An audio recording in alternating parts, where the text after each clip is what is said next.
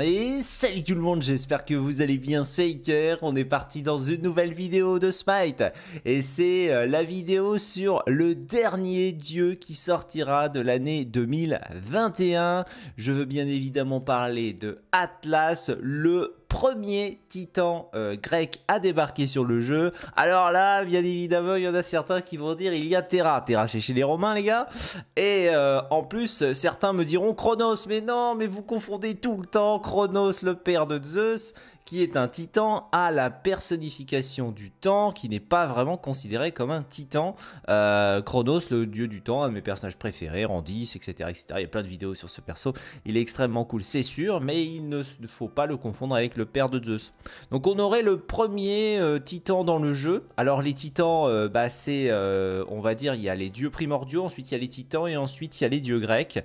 il y a eu une guerre qui s'appelle la titanomachie entre les titans et les dieux grecs et la titanomachie fut gagnée par les dieux grecs. Donc beaucoup des titans sont soit morts, soit euh, ont été euh, bah, mis de côté, hein, comme Typhon je crois, comme euh, Prométhée qui donna le feu à l'homme et qui fut condamné à se faire manger le fou à longueur de journée par un aigle et Atlas qui fut condamné à porter le ciel. Et on le voit, le dieu n'est pas aussi immense que dans les cinématiques. Certains l'auraient voulu grand comme Cthulhu. Moi, je trouve qu'il est extrêmement cool comme ça. Donc il est un petit peu plus euh, volumineux qu'un Odin. On voit bien qu'Odin, il est tout rikiki à côté. Alors que c'est quand même euh, le dieu euh, principal de la culture, de la mythologie nordique. Donc voilà. Personnage que j'aime beaucoup et qui de sort très intéressant, c'est un, gardien comme je l'ai précisé euh, juste avant en tout cas je crois.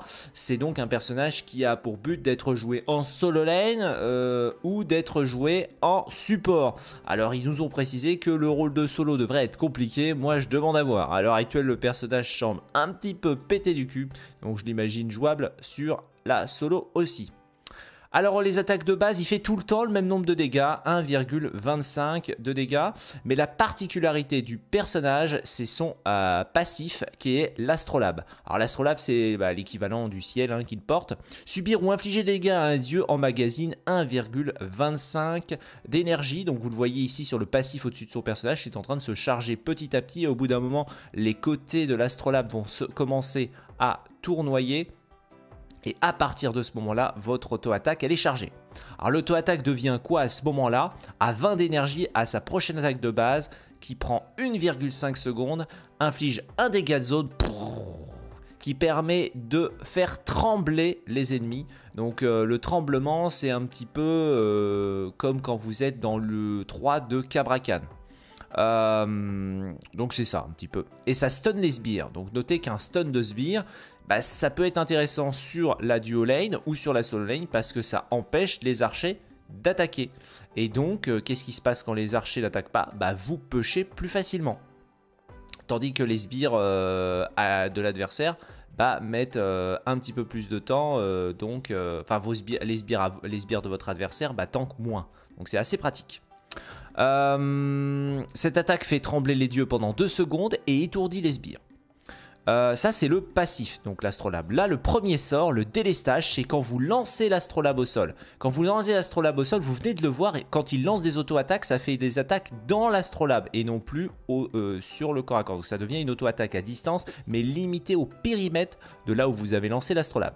Donc Atlas lance son astrolabe qui inflige des dégâts de zone et ralentit les ennemis. Il reste sur place pendant 5 secondes ou bien jusqu'à la réactivation de la compétence. Pendant ce temps, l'attaque de base d'Atlas déclenche une explosion autour de l'astrolabe mais consomme 5 de mana.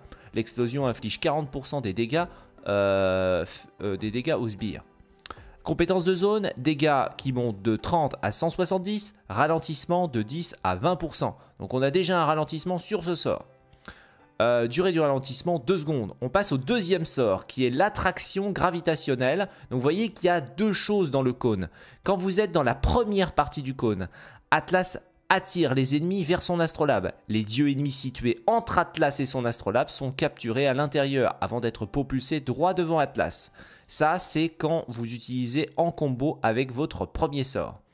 À l'activation de la compétence, si l'astrolabe est déployé, il attire les ennemis à lui et les dieux ennemis attirés sur l'astrolabe sont capturés à l'intérieur puis propulsés jusqu'à Atlas. Donc vous voyez qu'il y a deux particularités du 2 d'Atlas quand vous le faites avec l'astrolabe déployé, vous voyez ce que ça fait Hop, ça les attire au centre et ensuite, ça les amène à lui. Euh, voilà, si euh, ça attire les ennemis à lui et les dieux ennemis situés sur l'astrolabe sont capturés puis propulsés jusqu'à Atlas. Donc vous voyez qu'il y a deux versions du 2, de... donc c'est un peu comme si c'était une stance. Vous avez la version où vous allez tout simplement l'utiliser près de vous, ça fait un cône. Si vous êtes dans la première partie, donc le plus proche d'Atlas, vous le portez le mec, et si vous euh, l'utilisez dans le 2, ça l'amène à vous. Vous voyez, il y a deux versions de ce sort. Euh, que je trouve très très cool. Euh, une avec l'astrolabe et une sans l'astrolabe. Donc euh, personnage qui est assez compliqué comme ça à comprendre, mais qui a quand même un kit de sort très intéressant. Vous voyez que c'est pas du tout instantané. Hein. Le temps de lancer l'astrolabe et d'appuyer sur le 2 pour ramener la personne au centre, puis ensuite la, la faire poule vers vous, ça prend quand même beaucoup de temps. On a la charge cinétique. Atlas fonce droit devant lui. Les alliés traversés voient leur ralentissement supprimé et profitent d'un bonus de vitesse. Ça veut dire quoi? Ça veut dire que ça cleanse les slows. Hein, euh, quelqu'un qui vient de se faire ulti par Nike par exemple, bah vous passez à côté. Vous voyez l'aura, le cercle autour de vous, c'est le cercle qui permet de retirer euh, les ralentissements, je pense. Et ça donne de la vitesse aux alliés. Donc le bonus de vitesse va de 25 à 35, mais ce n'est pas tout. Il s'arrête et déclenche une explosion qui applique un ralentissement s'il touche un dieu ennemi. Sa valeur augmente de 25% par allié purifié pendant la charge. Donc vous avez vu, il y avait un slow sur le 1, et bien il y a également un slow sur le 3 qui monte jusqu'à 75%. Donc là, il est seulement à 25 quand il vient de faire comme ça, puisqu'il n'a pas été à côté d'un allié. Mais si il passe à côté d'un allié, ah, voilà, ça c'est le 2 quand vous le, quand mec est, directement dans la première partie du sort. Vous voyez, vous le portez carrément. Euh, J'étais pas sûr qu'on on, l'avait vu. Donc là, vous voyez, il passe à côté de deux personnes. Donc il y a deux petites boules qui, euh, augmentent et donc le slow il est amplifié. La valeur euh, augmente de 25% par allié purifié pendant la charge. Donc ça monte jusqu'à 75% de slow. Alors, euh, on ne voit pas trop combien de temps dure le slow. J'ai pas l'impression que le slow dure non plus une demi-heure. Mais voilà. On passe à l'ultimate, rayon gamma. Atlas déchire les cieux et fait abattre un immense rayon gamma. Toutes les 0,5 secondes, il inflige des dégâts périodiques sur les ennemis et les irradie, ce qui réduit leur puissance et leur protection pendant 5 secondes. Donc première version de l'ulti, une zone qui les irradie, qui fait 25 à 65 de dégâts plus 10% de ratio de puissance par seconde pendant 5 euh, secondes. Le malus de protection est de 5 à 2 secondes, euh, de 5%, donc ça se cumule jusqu'à 7 fois. Donc ça fait jusqu'à 35% de réduction euh, de euh, résistance. Et ensuite, enfin de réduction de protection, ce n'est pas, pas de la pénétration, attention. Et malus de puissance, ça fait 2 fois 7 jusqu'à 14% de puissance en moins. Et vous le voyez, après les 5 secondes ou bien à la réactivation du sort, ça fait un énorme rayon un petit peu à la rat, hein, ça ressemble en tout cas pas mal, euh, qui traverse le champ de bataille dans la direction dans laquelle Atlas fait face. Donc vous pouvez viser où vous voulez. Et euh, le rayon, ses dégâts augmentent et il applique alors des charges d'irradiation intensifiées, chacune égale à 3 charges normales. Euh, Iker, tu parles chinois, tu peux nous redire Dans la direction à laquelle fait face, ses dégâts augmentent et il applique alors des charges d'irradiation intensifiées, chacune égale à 3 charges normales. Donc si vous touchez avec votre rayon, vous aurez euh, quand même le malus de prot et le malus de puissance que vous pouvez appliquer à d'autres personnes qui ne seraient pas à l'intérieur de votre ulti. Alors les dégâts, vous allez me dire, les dégâts euh, bah, du rayon euh, sont quand même pas autant élevés que celles de rat, mais quand même, ça fait 100, 145, 190, 235, 280 de dégâts avec un, ratio de 40%.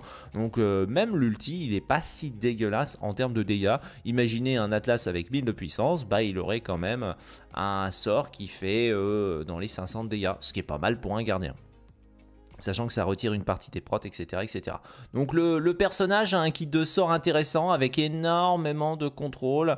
Euh, voilà, euh, des contrôles qui sont pas si simples que ça à placer. Donc je pense qu'Atlas euh, sera peut-être plus puissant si a des personnages dans son équipe qui eux aussi ont des contrôles.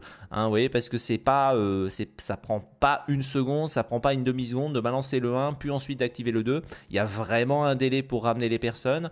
Donc il faudra jouer sur votre slow de 75% euh, quand vous percutez quelqu'un. Et puis, il euh, faudra, euh, bien évidemment, vous pourrez lancer votre astrolabe, par exemple, sur la position où Nice pourrait backflip. Comme ça, vous lancez l'astrolabe, Nice utilise son backflip et vous la chopez, vous appuyez sur le 2 et vous la faites revenir. Donc ça pourrait être très rigolo. vous allez devoir un petit peu brain vos adversaires. bien sûr, je pense que l'astrolabe est un sort qu'on peut lancer à travers les murs. Il y a quelques petites choses qu'il faudra vérifier sur le PTS, mais ne vous inquiétez pas, on testera ça samedi, je pense, samedi, si vous voulez passer sur la TV, euh, durant les heures de live du matin, je pense, on testera le tout nouveau dieu Qu'est-ce que j'en pense? Bah, j'en pense qu'il a que des sorts qui font des dégâts, donc euh, le, potentiel euh, de le jouer en solo lane est tout à fait faisable, sachant que je crois qu'il a une auto-attaque de zone, la dernière de son, de son enchaînement, plus celle en plus que qu'on connaît qui, euh, qui, se charge en énergie et qui finit par faire trembler les ennemis pendant deux secondes et qui étourdit les sbires. on a un sort 1 qui, l'astrolabe qui fait 170 de dégâts quand on la lance, c'est pas énorme, c'est sûr. L'attraction gravitationnelle fait également des dégâts et on peut très bien cumuler les deux sur les 6 sbires. Donc euh, je pense que euh, le personnage est euh, en effet pas si dégueulasse que ça sur la, sur, la, sur la solo et en plus il a un dash. Le dash fait quand même 300 de dégâts avec un ratio de 45. Enfin bref, personnage très intéressant. je l'aime beaucoup et les artworks sont vraiment magnifiques. Je trouve qu'il est très très bien réussi. Euh, le personnage a du slow, on sait pas trop quoi en, foot. Pourquoi mettre autant de slow sur le personnage? Il y en a un sur le 1 et sur le 3. Faudrait se calmer au bout d'un moment sur les slows parce que bon, les slows sont extrêmement forts et il faut que limite euh, on parte tous sur la mêlée quand on va jouer contre ce personnage parce que le slow est, vraiment euh, peut-être trop efficient sur le personnage. En plus de ça, il a déjà du contrôle donc euh, je pense que ça en fait un petit peu euh, beaucoup. Moi, je vous fais des gros bisous. N'hésitez pas à me dire ce que vous avez pensé de la vidéo et du personnage. Et on se retrouve demain pour une nouvelle vidéo sur la chaîne. Je vous laisse sur le voice pack d'Atlas. Allez, salut.